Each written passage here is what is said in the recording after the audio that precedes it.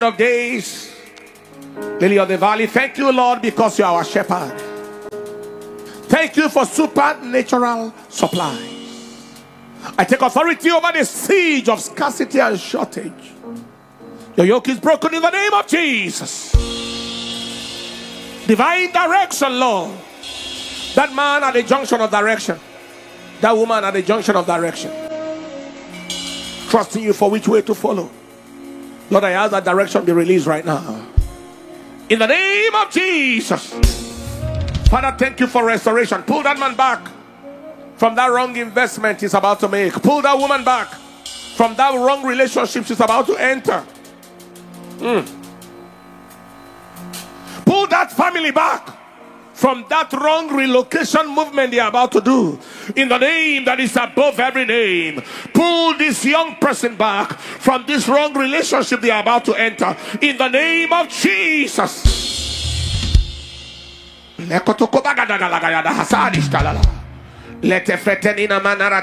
Hatazina. God is about to interrupt a wrong journey, a wrong relationship, a wrong business investment.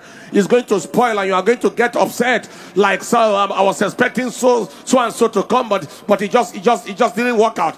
And God is going to show you shortly after that why it did not work out. That He was saving you, saving your life, saving your destiny, saving you, saving your life in the name of Jesus.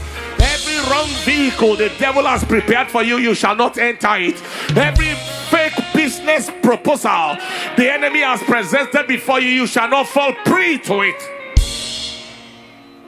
In the name of Jesus. The Lord your shepherd preserves you. Strange arrows of destruction shall never be your portion. That's right. The Lord is saying you won't die somebody's death. You won't die another person's death. I don't know who this is, but you will not die another person's death.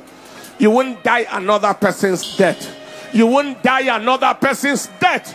You won't die another person's death. Hey! You won't suffer another person's punishment. You won't bear the consequences of another person's transgression. In the name of Jesus.